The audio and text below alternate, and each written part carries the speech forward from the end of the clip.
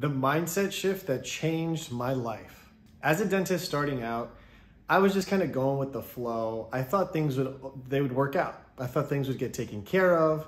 You know, owners that I worked for had told me, "Hey, you're going to be successful in life."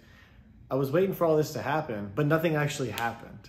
Things weren't really going well. I was blaming the offices for not supporting me, and ultimately put me down a path where I had to make a change.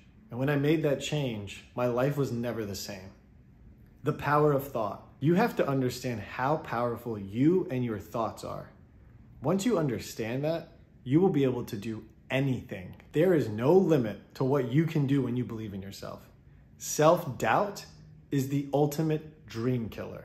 When you doubt what you can do, you're automatically limiting what you're capable of achieving. So, starting out, I was trying to find my footing. I didn't really understand how much power I had that directly impacted my success. I was waiting for the front desk to fill my schedule. I was blaming the doctor for taking cases. I made excuses for not being busy. All of these things added up and made me feel like I wasn't good enough at what I was doing. The first change that I made is I prioritized taking continuing education. I waited so long for dentists to take me under their wing and teach me their ways. That didn't happen.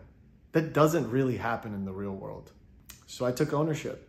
I started taking that continuing education. This knowledge helped me find my passion as a dentist. Once I owned my education, I owned my space. After I took CE, I took ownership in everything that I did. I stopped waiting and I started doing. I learned how to talk to my patients about urgent treatment that needed to get done to improve their oral health. I did procedures that I hadn't done in the past and I didn't look back. I knew quickly that if I didn't find something that I loved doing, I would hate my life as a dentist. Ultimately, for me, it was Invisalign.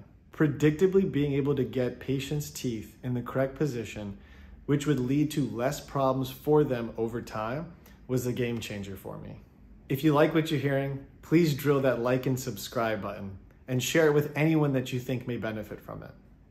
The mindset shift that happened was not waiting for other people to give me success. I had to create my own success.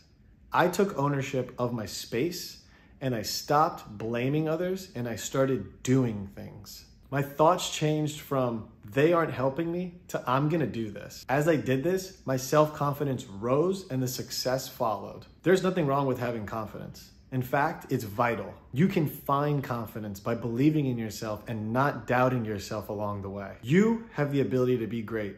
It's up to you when you want to start.